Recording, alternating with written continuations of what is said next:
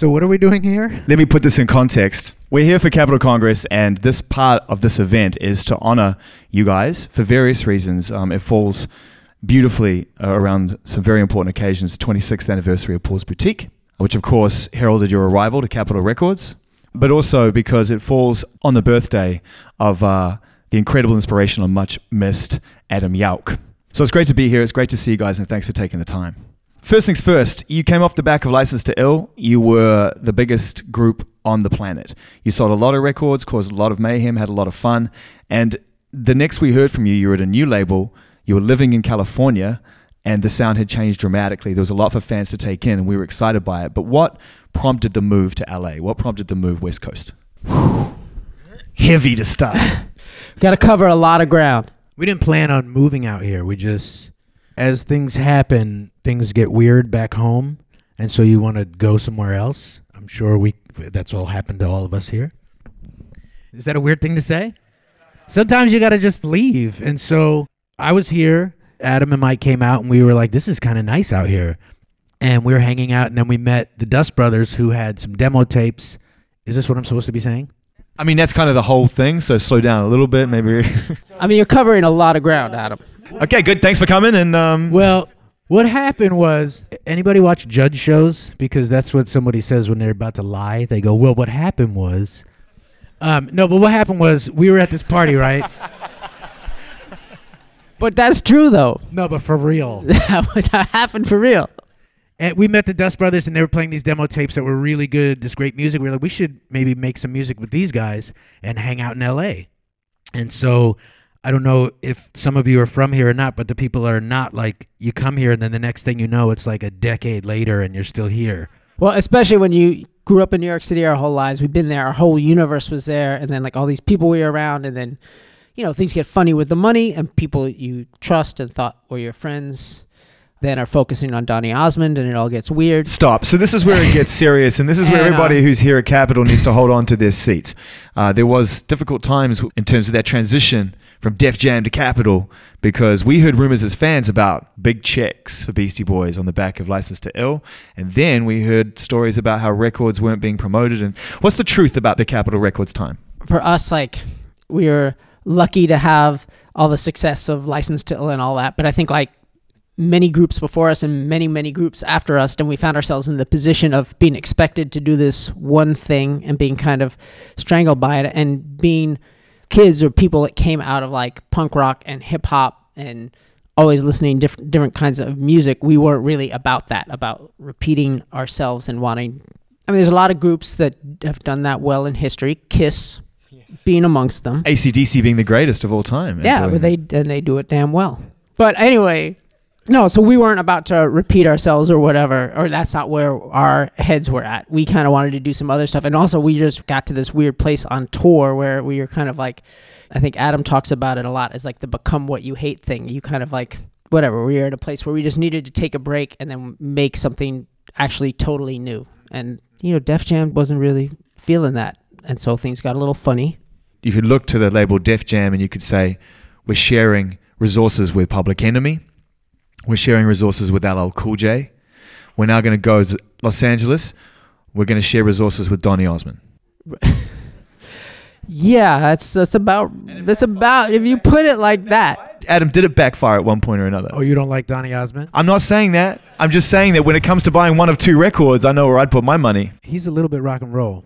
So you clearly you don't get it. Um, no, what happened was we had a we put out License to Ill on Def Jam and things were great, and then they weren't great, and so we left and we're trying to find a new record label, and Capitol was really cool and signed us. You know, just sort of say little footnote is from the beginning till now, like they've never put pressure on us to make a specific thing. For all of our records we made, they've left us to do what we want which I don't believe happens in like the record industry. So when the album came out, for me and my friends, the only way I can relate to it at that time was it was a triumph. You know, we loved the sound of it. We loved the bass at the end, like so many ideas coming at you left and right, so many samples. We were all getting into sample culture at that time, so this just seemed like it was the holy grail of sample culture. Like there's so many good ideas and breaks going into it. How was the initial time for you? Was it freeing that it didn't come with the same level of like as License to ill, you know, that huge sales and overnight thing? Because it has gone to be very successful over time, but it's taken its time. Uh, freeing is a very generous way of looking at. It. No, I mean honestly, for us, and I remember like yeah, especially like you know we all put our so much work into the record, and I mean yeah, if you look back at it with a rational thought, you'd be like, well, if somebody was really into License to Ill, what is there on Paul's Boutique that they would also be into? It's a pretty radically different album, or there's a it was a big departure, whatever. But at the time, it was like we left it on the floor. I think, as they say in some Yeah, both teams played hard. both teams definitely played hard. And then, you know, we were kind of bummed out that uh, people were only feeling there's maybe one or two songs on the album. You guys got two songs. So after Paul's Boutique came out, Mike ran into an old friend of ours in the neighborhood, and he's like, "Yo, I heard your record. You got two songs." And Mike's like, "Wait, no, there's probably like 16 songs on the record." Anyway, um, what happened was we were like this big group, License to Ill. We're like internationally known, and we're like 20 something years old. We were feeling ourselves, and we thought we were a really big deal. And then we get signed to a new record label and all this. We work on this crazy record, and we're like, this is it. We're like on top and all this stuff, and then nothing, crickets. It wasn't like billboards and all of this stuff. Whoa, whoa, whoa, whoa, we got a flag, Adam. There's a flag. No, no, no, we got a flag. No, it was, it was for momentarily, but then when the record came out, it was crickets. Like I went to Tower Records and they didn't even have it. Like I thought that was a little weird. Like We got a flag. we got a flag, no, and they gave us money to make, you know, like they. I would assume they wanted their money back. So what happened? What happened was we made the Paul's Boutique and it came out and uh, I guess the president of the label who had signed us got fired, like for giving us a lot of money. well, along with the head of A and Like a R, lot of people got fired. Tom Whalley, and then it, They say because of us, but it probably was. people don't really point the finger at us, but they do point the finger at us. And so there, there was a new guy, and I don't mean to like you know make fun of somebody, but I'm gonna, and I'm not gonna say Hale Milgrim, and he was the new president of the record label, and then the record was out that we'd worked really hard on. We were like really excited about, and this was like our livelihood and all this stuff, and you know, and the record wasn't at Tower Records, and it just wasn't being like promoted. Like we wanted to have a meeting with the president to be like, hey, like what can we do to make this a thing? And then he like was like a week later, you can't meet him. Well, a week later, you can't. So finally, we had a meeting with him in his office, and he had like a, a brand new tie dyed Grateful Dead shirt on, and he was like, "You guys, look, I get it. You know, like I'm a deadhead, so I know where you're coming from, and I'm really not a deadhead. Just to let you, you know, fun fact." And so, so he was like, you know, I appreciate you worked really hard, but you know, you're gonna have to wait for the next time because the company's really getting behind the new Donny Osmond release, and we didn't know what next time meant. And he was like, you know, next record. So that like that was it. So we're like sitting there, like this guy we have a new we never met, who's looking at us after we spent two years making this record, telling us it's game over. Didn't feel very good. But also, any if you get some time later, like YouTube, the Donny Osmond desert video, because that was like the video that was like being pushed by Capitol at the time, and it, it's I don't know, it's up. I don't know what to say. Big though. Was it big? I don't know. Did anybody? I you know, and you know he's not rock and roll. He's not even a little bit rock and roll. Look, he lets you know what he is. But he lied. What- What's he supposed to say? He's a little bit. You know, nice, family friendly. I don't know. But you got a flag. It's awesome, but the flag they took down. Here's here's about the flag. It was the day after George Bush, the original, made it legal to deface the American flag. And so for like yes, for like a week in our country, like it was legal to deface the American flag. And so I'm sure it was Yauch's idea. Like we should have a big Beastie Boys American flag on the roof of Capitol Records. And somebody that's probably why the guy got fired actually.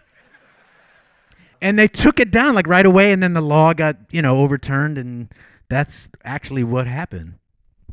So th- it really ties into George Bush Senior. George W. is what you're saying. Yes. I want to talk about the artwork and I want to talk about the videos because, um, and this might actually go some towards the, the freedom point I was trying to make before.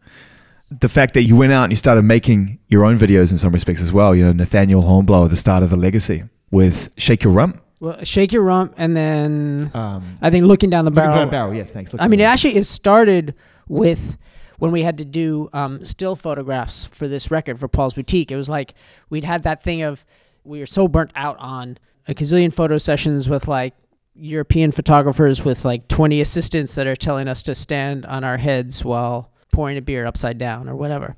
So we're kind of over that. So when it came time to doing photographs, Yauch was like, uh, you know what, I'll just do it.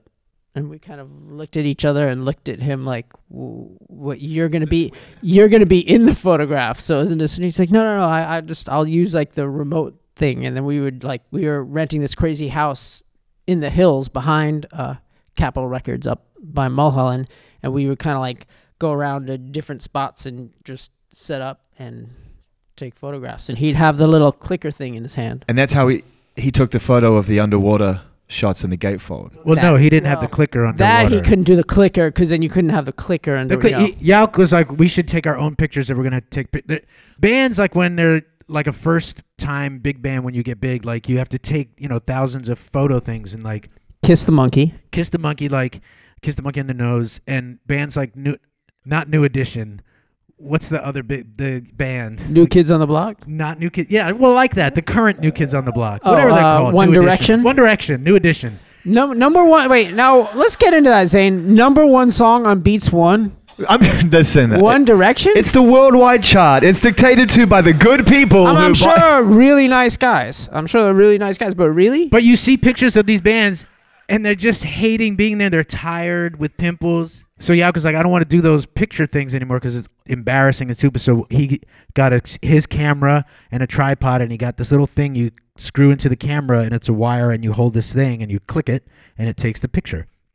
And so the three of us would just drive around and take our own press pictures. yeah, I mean, way, way, In a nutshell, way pre-selfie. I might add. this was I early mean, selfies. Yeah. You know, it's his birthday today, and I wondered if you could share with us a story that you remember of hanging out at that time when you were making Paul's Boutique, hanging out as the three of you that springs to mind, because it looked like you were having a lot of fun when you were making that record, in the videos, in the photos. it's like that with the camera thing. It was like we didn't know what we were doing. We are just a band, and we were like a, a punk band, a hardcore band, and doing stuff. And so you always kind of make your own thing. And then, you know, all of a sudden we started working with Def Jam, and it became a thing where like, oh, the record label is doing this stuff, and the record label's making the artwork and these videos. It was just like a weird experience. I mean, it was great. It was really great, but it was sort of like got out of touch from just what we did. And then so Yauka's just sort of more pushing it of like we need to do everything ourselves. And so, you know, he got the tripod and the thing and it was like just a little detail that's just kind of a nothing detail, but it was a big detail where it was just no outsiders. It was just insiders, just the three of us. He just always was doing and thinking stuff like that. Just like, oh, for the record cover, I heard somewhere where you can get this camera that shoots 360 pictures. And we're like, where the f- did you hear about that? Like he would always hear about these things. Like where did you hear about that? And so somehow he got the camera and we he took the picture of the 360 thing. And from that record my favorite thing is that he went to a thrift store and saw a, an army helmet from like a the pilot of an airplane that had a microphone. And he bought it at the thrift store and some I don't know how he did it. He fixed the microphone and got a quarter inch jack into it and plugged it in and recorded a song wearing the stupid helmet thing. And it's on the record Which one is it? Which which song is it's it? It's a year and a day it's his own thing and he's like in his weird apartment with the army helmet on making a song and I thought that was pretty cool to add a little bit onto that story, like it was kind of like with Yauch, he would push the envelope and push like whatever we were doing, he'd be the one to be like, all right, we have to kind of bring it up to 11. So I remember with that song, with a year and a day, and actually a bunch of the stuff on Paul's Boutique when we started working with the Dust Brothers, they kind of opened our minds to like we'd been before on License Ill to sample stuff. We literally had tape loops. You know, when we were working with Rick, we literally had tape loops like going around the studio, and we had like 808 drum machines and DX drum machines, and we didn't have sampling. That was our primitive sampling technology, right? And then also with the Dust Brothers, they had these actual digital samplers, and they actually had to use two separate ones to do stereo, which now you could you could basically do it in your iPhone. But at the time, they would say sample like two seconds or like half a bar of this and then stack it with another and then we'd be like well stack it with another half bar from another record but the Yauch would be like no no take two bars and then take another two bars of this and like he just would push it all to get so crazy you know kind of multiplied and exponential like. Well, the, the flag flies again today. It's been uh, it's been you know it's been put up on the top of Capitol Records today because in, in the 26 years since you released that record, genuinely as a fan, and I speak for millions of people around the world, that that, that album just becomes more golden. You know, you find more things and more layers. All those layers that Yauch applied and you guys applied. It's just you're constantly finding little frequencies and harmonies and details that it takes years to listen to. So I go back to it all the time. A lot of people do. And congratulations and happy birthday, Yauch, and thank you for your time. We appreciate it. Thanks to Adam and Mike.